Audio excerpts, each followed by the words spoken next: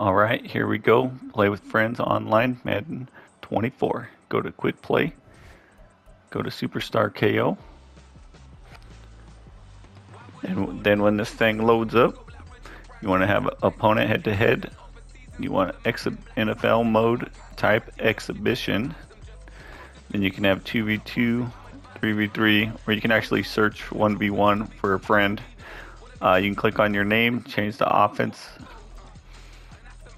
or uh, defensive coordinator, captain. If you got multiple, and then you click on your friend, send them an invite.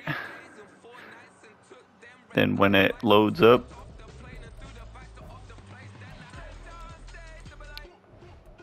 then you get to press play, and then you pick your team. One person gets to pick the offensive playbook, one person defensive playbook, one person the team. And there you go. You're playing online. Have fun. Peace.